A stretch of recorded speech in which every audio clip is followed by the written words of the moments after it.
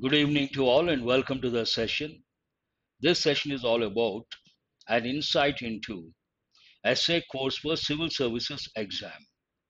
In this session, I'm going to talk about the course in detail. Last time, if you remember, I said this course is for 50 days. The first 25 days related to the tools when it comes to essay writing and the last 25 days deal with specific topics and the feedback. In this session, I'm going to talk about the first 25 lessons. What am I going to teach? Lesson 1 Introduction to Essays for UPSC Civil Services Mains Exam. This is all about the introduction.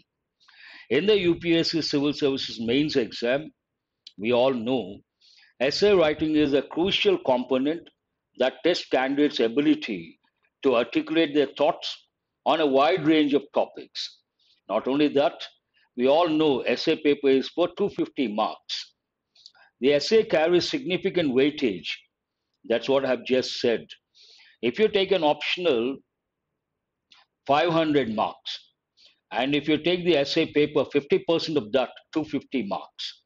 Significant weightage and candidates are expected to demonstrate their analytical, critical thinking, and communication skills through this exercise. All these are very important. But at the outset, you should have information that is important. Lesson number two any competitive exam, especially civil services, any exam topic or a particular paper, you have to ask the question what is tested? Why do they ask you to write an essay? And what is tested in essays for UPSC Civil Services Mains exam. Essays in the UPSC exam assess candidates' ability to synthesize information, analyze complex issues, present logical arguments, and communicate effectively. That is very important. Examiners look for candidates who can provide insightful perspectives.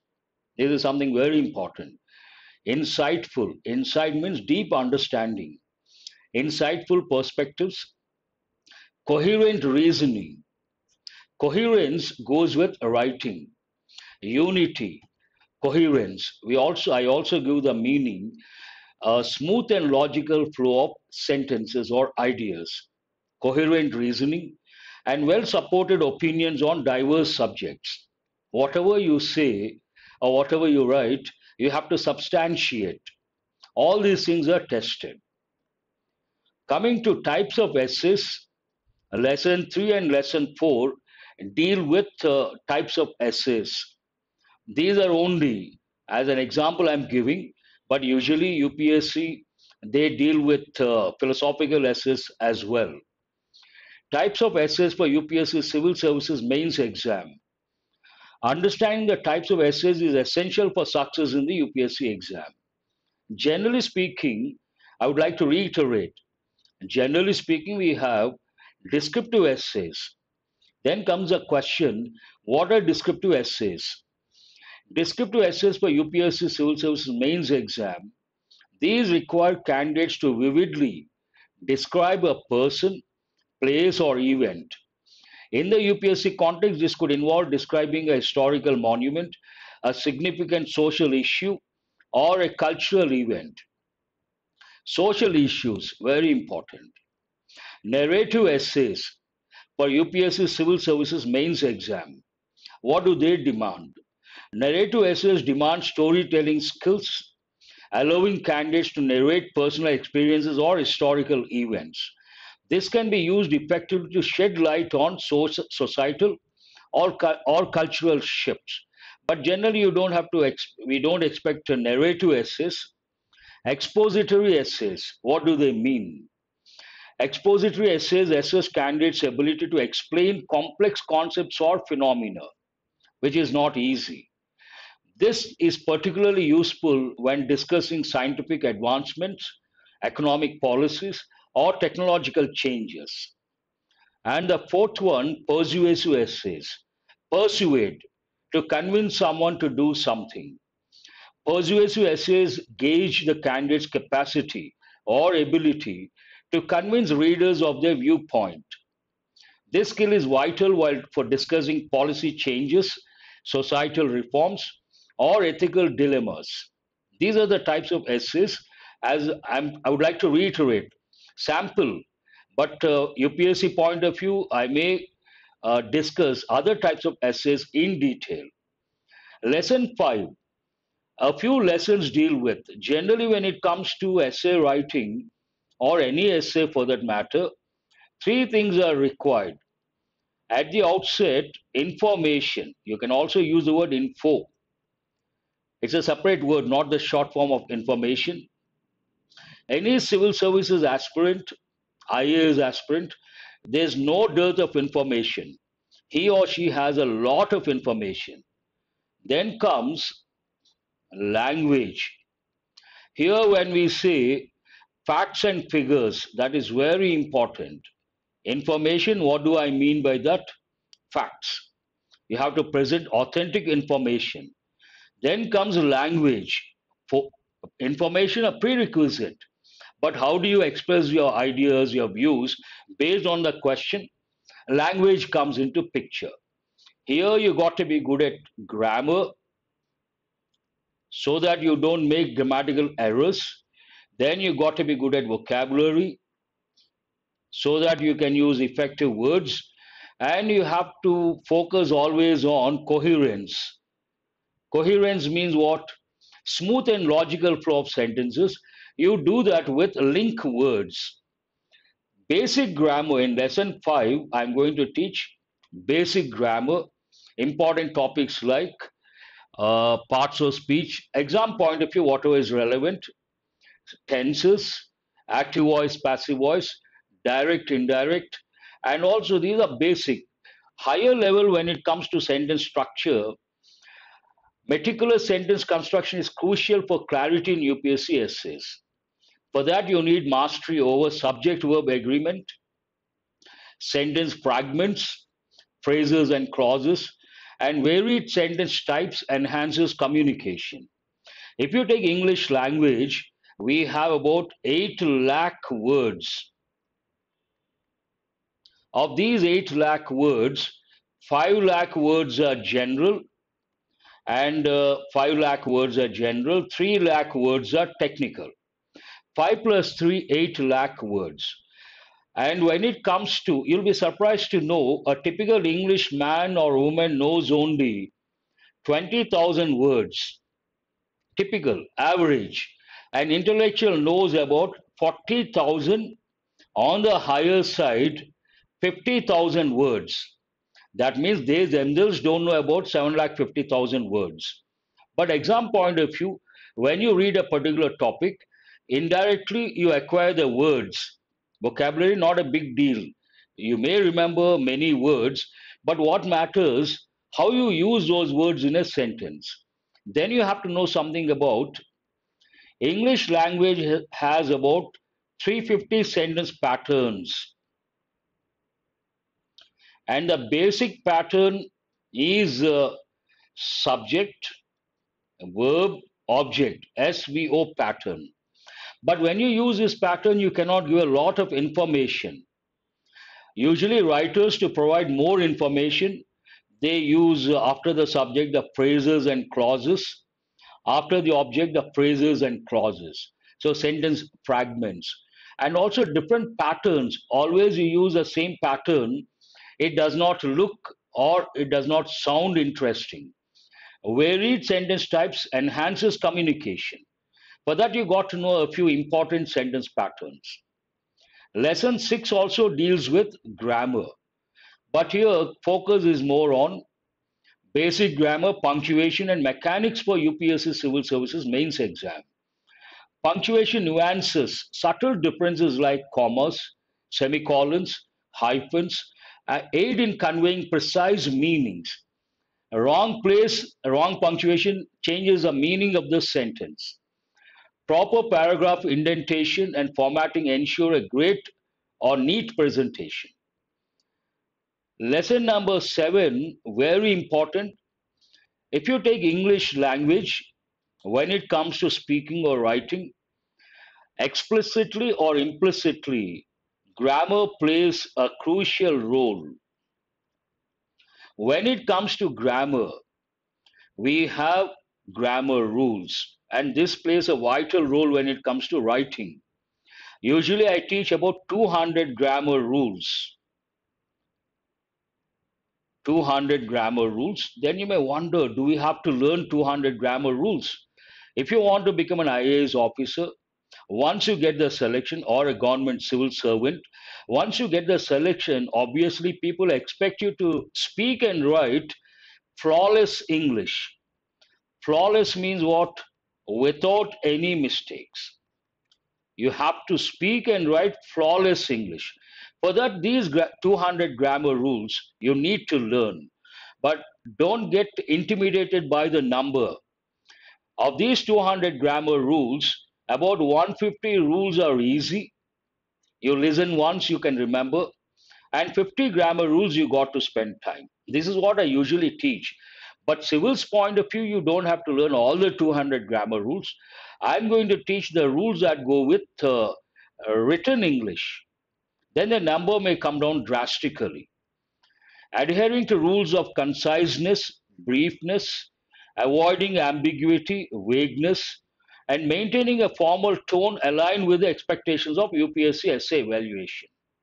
Students ask, sir, do we have to use grammatically correct sentences? What is important, information or grammar? Do remember, information is a prerequisite. This information also based on the question. What is the question? What are the keywords in the question? And based on the keywords, how to write the answer, the, how to present the information. The most important, it's a prerequisite. But imagine you have a lot of information, you have understood the question, you got the keywords, but you do, you're not good at language because English is not your mother tongue and we are not born writers. Then it becomes a problem to put all your ideas on paper. For that, you need uh, proficiency in English. I, when it comes to written English, that is very important. Their grammar plays a role. You can express your views based on your vast knowledge on a variety of topics. But when you write the essay without errors, you write uh, grammatically correct sentences, appropriate words, word combinations, link words, and no errors as such. Obviously, you get more marks. It goes without saying. Lesson 8 also related to grammar in a way. Common errors to avoid for UPSC Civil Services Mains exam, essay point of view. Errors such as faulty parallelism, improper tense usage, and misplaced modifiers can be detrimental, means what? Dangerous. Being mindful of these can elevate the quality of your essays. What is parallelism? It is an important sentence pattern. Look at this example. The more you spend, the less you have. What is a parallel expression here? The more, the less. That is what we call parallel expression. Parallel expression means using the same word forms, same grammatical units in the sentence. I'll give a better example honesty, integrity, and being diligent. Let me use a capital letter here because I've used honesty, integrity, and being diligent are important for success. This sentence is wrong. Why is it wrong? Honesty is a noun. Integrity is a noun. Then the third one also should be a noun, but here you have verb ing form, auxiliary or helping verb, and diligent person. Diligent is an adjective. Then it is not correct. What are you supposed to say? Honesty, integrity, and diligence. Hardworking nature, meticulous nature. Honesty, integrity, and diligence are important for success. This is what precisely we call parallel expression. And other examples like uh, she likes uh, reading and to write, wrong. She likes reading and writing. Improper tense usage, that also matters a lot. When it comes to tenses, a lot of people make a lot of mistakes, not acceptable. The mistakes may go with the written English or conversational English. Exam point of view, higher level, I would like to give an example. I have met the director yesterday. A lot of people make a sentence like this I have met the director yesterday. This sentence is wrong. It goes with tenses. Here we have the word yesterday and it goes into the past. Then we cannot use present perfect tense. This is in present perfect. It's a wrong combination. Present perfect plus past time, independent past time, wrong combination. Here, because yesterday is there, we have to say we should use past tense. I met the director yesterday. Then it is correct. Lesson number nine is very important. Link words and transition for UPSC Civil Services Mains Exam. That is essay. Transition words enhance coherence. What is writing? Writing is all about coherence. Then you may wonder what is this coherence? It is nothing but smooth and logical flow of sentences. When you write, your sentences should flow smoothly and logically. Then we use a term coherence. Usually, what happens, students write uh, points. Writing points is not a writing skill. Anyone can do that. Essay means what? Coherence is the most important thing. Then, how do you express coherence in your essay with the help of link words? I'll give an example. Here, when we talk about the development of Hyderabad, we say Hyderabad is growing by leaps and bounds leaps and bounds means rapidly. This is one idea. This is something positive. Then you want to introduce a negative idea. Then you have to use a link word. However, however, the development or the growth, the development is lopsided. Lopsided means what? Uneven Hyderabad is developing by leaps and bounds, growing by leaps and bounds. However, the development or the growth is lopsided. If you don't use the word however, then it is not writing. Then, if you ask the question, what is this however, it is a link word. We have to use a lot of link words based on what you're trying to connect, and that shows you're good at writing, you're good at coherence. Only then it is considered a proper essay. Without link words, it is not an essay in the real sense. And uh, one more thing uh, uh, between coherence between paragraphs and ideas and continuity, very important, smooth and logical flow of sentences. Coming to lesson 10. If you take uh, a language, there are three things which are very important one is the foundation grammar. Second is uh, vocabulary. Grammar more or less deals with uh, sentences. Vocabulary deals with words. But besides these two, we have the third dimension, a reading comprehension skill. All the three are very important to master a particular language. Coming to writing skill, essay writing, First two are important.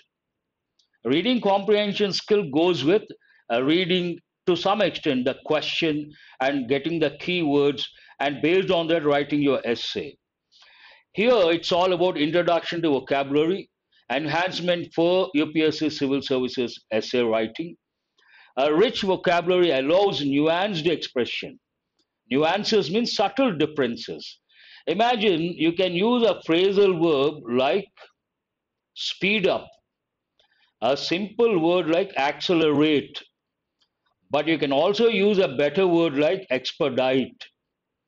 They all mean the same accelerate, speed up, expedite, which is a better expression expeditious, expedite. This is what they expect, and it fetches better marks. And precise word choice can distinguish your writing and demonstrate sophistication. That is very important. Usually, when you write an essay, imagine you're writing about the problems, the hardships, and you want to use a word, government is doing something to reduce the intensity of the problems or the hardships. We have to use a reduce a simple word. We have to use words like mitigate, alleviate, assuage. These are better words, appropriate words. Mitigate something, alleviate something, assuage something. Words, right word at the right time, right word at the right place makes all the difference when it comes to essay writing. And lesson 11 many IAS aspirants, civil services aspirants are good at lexical terms, in my opinion. Lexical terms and word combinations for UPS civil services, effective manipulation of nouns, verbs, adjectives, and adverbs strengthens your writing. Employing idiomatic phrases and collocations adds depth. Here, parts of speech, four parts of speech are very important when it comes to either speaking or writing. And these are known as, if you take all the 8 lakh words, they are divided into two groups structural words, words with a function. They are not that important. And what comes under structural words? We have pronouns in a way, we have prepositions, we have uh, conjunctions, and the last one we have interjections. When it comes to rich vocabulary, you got to be good at the second group. What is the second group? Content words. Means words with a meaning. All 8 lakh words are nothing but 8 parts of speech. And what are the four parts of speech that, that come under second group? And you should always focus on these four nouns, verbs, adjectives. The last one is rather easy adverbs. How to use them, and you should know the word forms. If you take a simple word like silence, silence can be a noun, silence can be a verb. Silent is the adjective form. Silently is the adverbial form. And you have to know all these. Coming to lexical terms, imagine you have read an article related to environment, loss of habitat. Generally, what are the words go with uh, that particular topic? If you take habitat, then you can think of words. I always teach uh, word maps and mind maps with the help of word maps and mind maps. Here, when you talk about uh, uh, species, loss of habitat, related words I'm talking about. Why loss of habitat? Deforestation. Deforestation, habit, loss of habitat. And because of that, you have to think of rela related words like endangered, extinct, and you have to think of words like i'm sure you all know these words as aspirants conservation and uh, preservation preservation has many meanings. Then you have to think use words like flora and fauna animals of a particular region plants of a particular region. And uh, all these words are what we call lexical terms. When you have a topic in English, the topic has some basic words which go with the topic, and those are known as lexical terms. In my opinion, many IAS aspirants or civil servants aspirants, they are good at lexical terms and word combinations because they acquire a lot of knowledge. Along with the knowledge, they get the terms. But uh, it is always better if you focus on lexical terms and word combinations and spend some time so that you use the right word at the right time in the right place. Lesson 12 continuation, lexical terms and word combinations are very important. For example, you want to use uh, the word extinction. Extinction of, you can use uh, a few words like species, extinction of a particular genus, extinction of a particular uh, animal or flora, extinction of fauna of a region. These are the combinations. English is known as a combinational language, and you have to use the right combinations. It makes all the difference when it comes to your writing skill or speaking skill. Lesson 13 Important and Power Words for UPSC Essay Writing. Strategic use of impactful words, casual words, impactful words elevates your essays. This can demonstrate your understanding of complex topics and engage the examiner. When the examiner reads your essay, he or she, he or she should be impressed based on the information you present, how you present, and based on the words you use. That makes all the difference.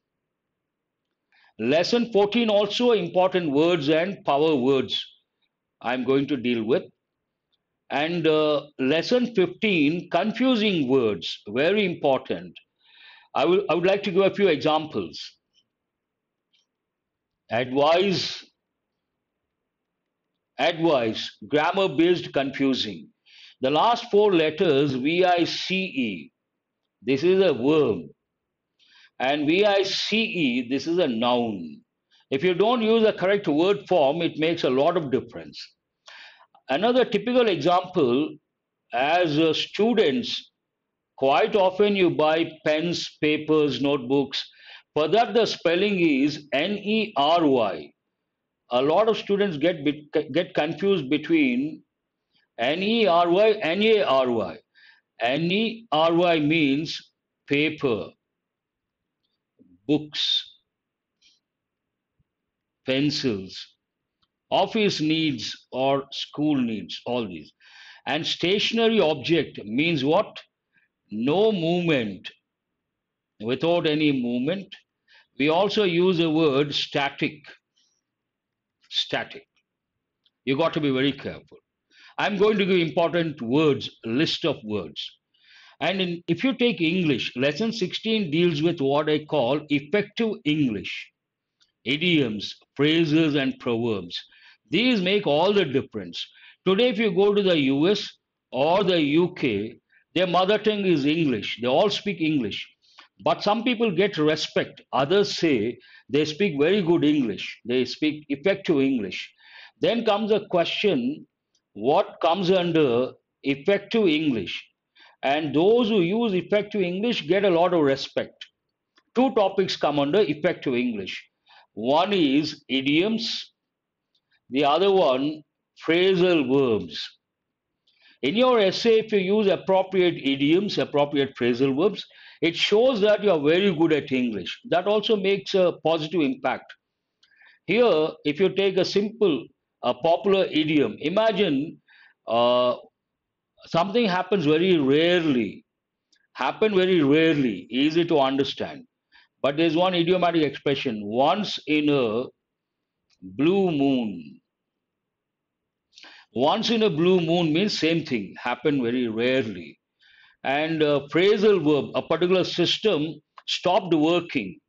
Then you can say the use of phrasal verb breakdown. Breakdown of a system. Breakdown goes with vehicles, systems, machinery. It also goes with power.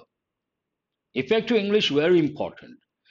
Now, I talked about grammar part, initial introduction, what is tested and types of essays.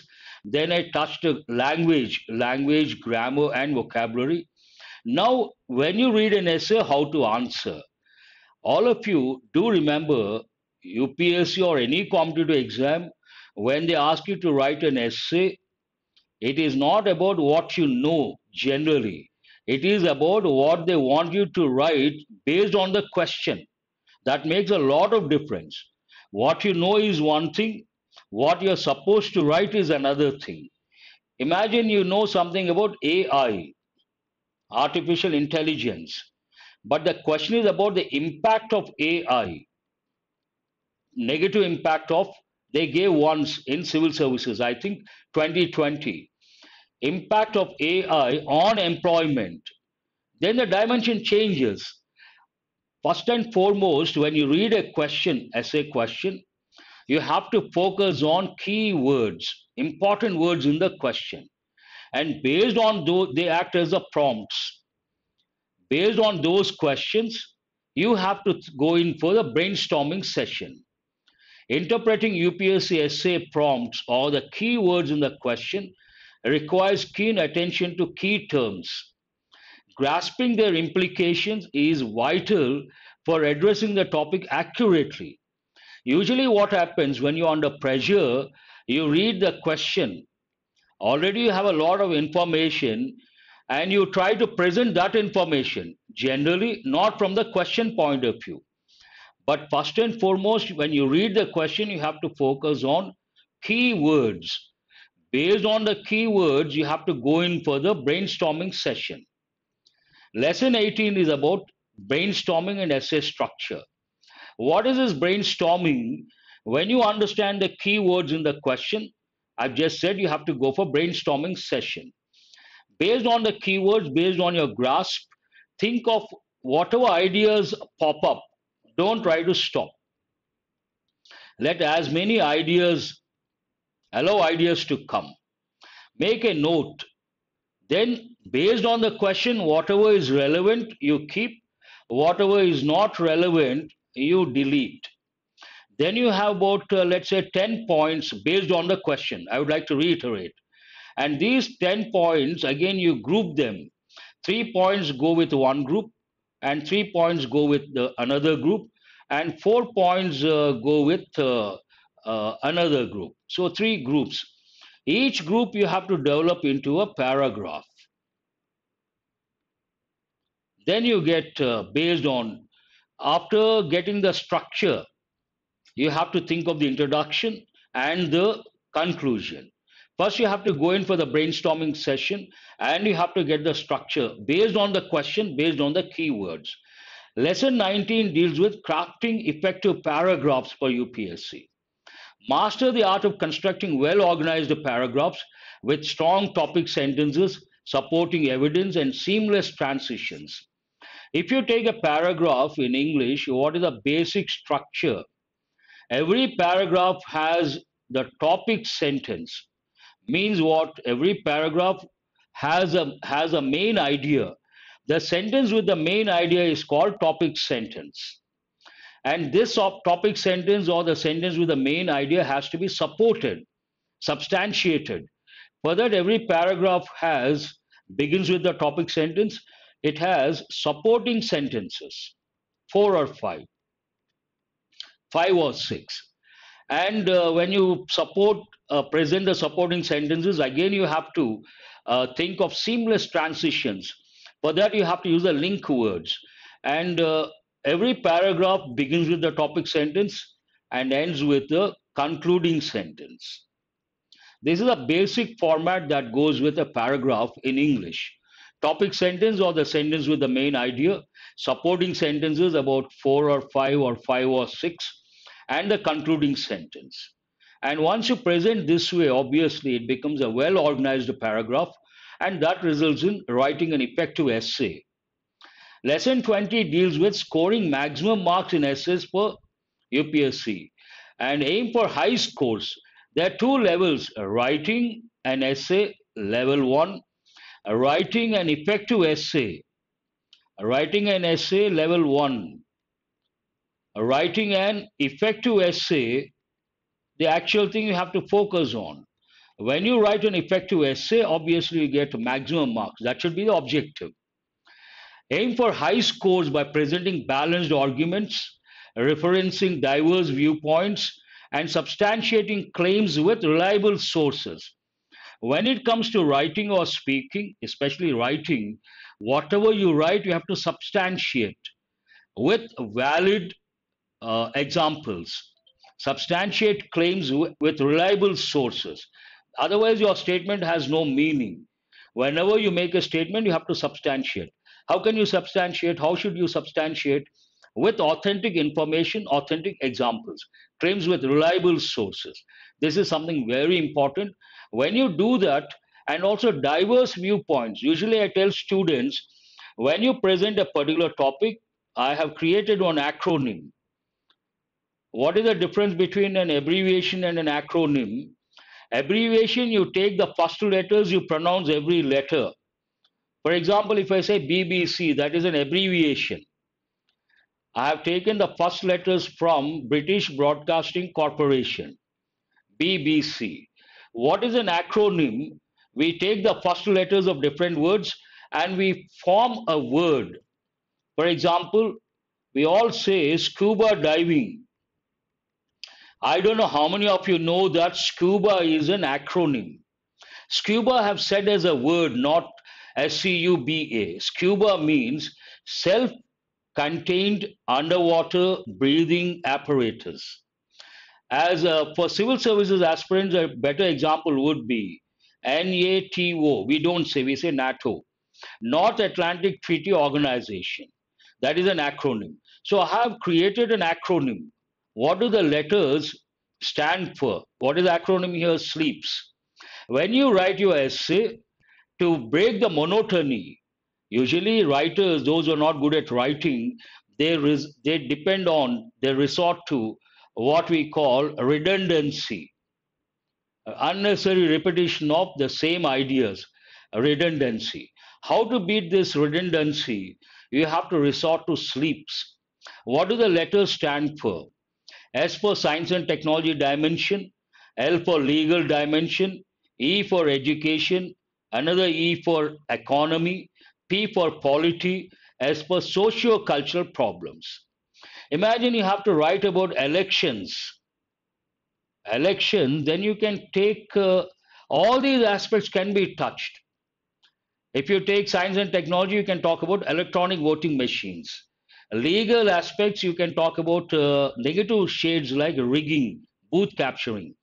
Education, to what extent the voters are aware of the value of the votes. And economy, how much amount or how much money is spent on conducting elections, and uh, unofficially how much money distributed, all those. And polity, here you could talk about the parties, religious parties, secular parties, all these. And socio-cultural problems, why people, usually it's an open secret, take money and vote. What, what could be the reasons behind? When you present, uh, write an essay touching all these aspects, obviously you make the right impact and it becomes uh, what I call holistic in approach. Holistic means what? Comprehensive or exhaustive. And there's no way you can lose the marks. You get maximum marks. Lesson 20 deals with types of essays, UPSC point of view. I have already talked about general essays, descriptive, narrative, expository, persuasive. But UPSC point of view, higher level, philosophical, and based on economy, based on socio-cultural problems, all these things. For example, societal concerns, policy matters, ethical dilemmas, all these essays are going to be discussed. Lesson 22 deals with incorporating important quotes. Essay, it's always better if you start with uh, appropriate quote. And here I'll be talking about important quotes based on the theme or the concept or the subject. Lesson 23 Essay writing do's and don'ts. Very important. I have already, uh, there's a video. If you search my channel, there's one video related to do's and don'ts when it comes to essay writing. Uh, it is like the starting point. With those uh, tips, do's and don'ts, you can start working on your essay writing. Guidelines such as maintaining objectivity, avoiding bias, adhering to word limits are critical for UPSC essay writing, and do's and don'ts practical tips. Lesson 24 deals with practice your skills. Discussion on previous year papers, PYPs for UPSC, essay writing. Engage in in-depth discussions based on last year, last 10 years papers and uh, you can gain insights how to write and what are the question words, how to consider, how to grasp. And based on that, uh, you can get an insight into the UPSC examiner's perspective and hone your writing skills, improve your writing skills. Lesson 25 course overview. I, I may touch the whole thing 24 sessions, what exactly you gain and in which direction that will take you, and uh, reviewing the whole thing or overview of the course. And uh, gaps can be filled, feedback will be taken. Summarize your learning journey, reflect on your progress, outline strategies for ongoing improvement in essay writing. All these are going to be discussed. This is about the first uh, 25 days. Second 25 days, if you remember, I said this course is for 50 days. The most effective course, and uh, in detail, you're going to get the information, whatever goes with uh, information from the question point of view, and uh, grammar, language point of view, vocabulary point of view, common errors point of view, effective writing point of view. All these are going to be discussed, and this should take you to the next level, level two. What is this level two? Here we practice important topics or burning topics, expected essays broadly, and uh, you have to write, submit, and uh, once you submit, my app I last time I gave the link. You can upload the essay. I will go through. I'll give the feedback one to one, one on one, and that will help improve your writing skill. This is all about. And uh, coming to the course fee, the time slots. This is the second video related to essay course. Tomorrow or day after, I'll come up with another video based on the feedback I'm going to get uh, a lot of students will watch this and they will give me the feedback based on that i'll come up with uh, one video do's and don'ts that is a good beginning a good way to start i will talk about the course fee and other details the time slots. Thank you very much. All the best